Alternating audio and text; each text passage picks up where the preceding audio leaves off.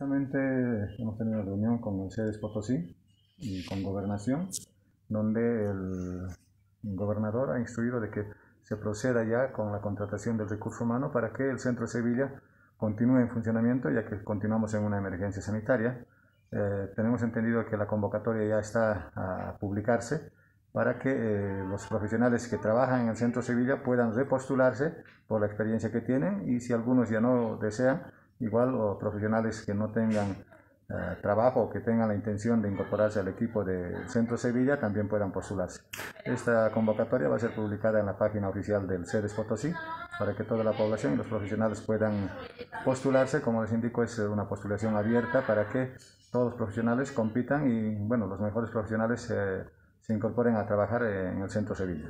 ¿Cuánto personal aproximadamente se va a requerir entre doctores, médicas, enfermeras, ayudantes?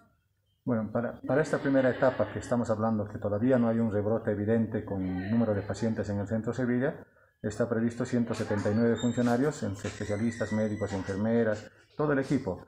En sí, actualmente nosotros tenemos ya trabajando un equipo de profesionales en el Centro Sevilla. Eh, nos estamos basando en el mismo número, incorporando algunos, algunas áreas que han sido, podría decir, descuidadas porque no se pensaba que el COVID iba a afectar, pero actualmente tenemos partos, cesáreas, problemas traumatológicos, cirugías de vesícula en pacientes COVID positivos. Entonces, esas áreas están siendo fortalecidas en esta convocatoria.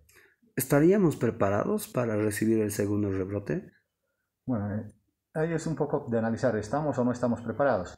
Si nosotros hablamos el pico máximo que tuvo el departamento de Potosí, en este caso el Hospital Bracamonte y el Centro Sevilla, que fueron el mes de julio y agosto, podemos responder, porque en terapia intensiva actualmente tenemos 32 camas, actualmente 22 funcionando con todo y las demás que están dispuestas a funcionar también. ¿no? Estamos hablando de 32 camas en terapia intensiva, terapia intermedia que, de momento están 34 habilitadas, pero con opción de ampliarse hasta 60, y la parte de internación de sospechosos que están con 80 camas, lo que antes se atendía en el EXERES o CDGs que, que funcionan en algún momento como atención a pacientes COVID. De estar preparados no sabemos cuál va a ser la cantidad de pacientes que nos lleguen. Si llega al pico de julio o agosto estaríamos diciendo estamos preparados, vamos a poder atender, pero no sabemos cuál va la magnitud de este segundo brote.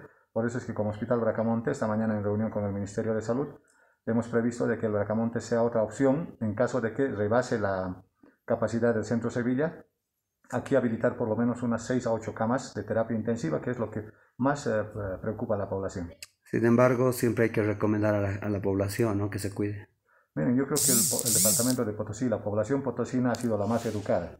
Si ustedes revisan la parte estadística, Potosí ha tenido los indicadores, podríamos decir, más positivos en esta pandemia, de menos decesos a nivel nacional, tomando en cuenta departamentos como Santa Cruz, La Paz y Cochabamba, que eh, Potosí, comparado con departamentos como Chuquisaca y Oruro, hemos sido los menos afectados en fallecimientos.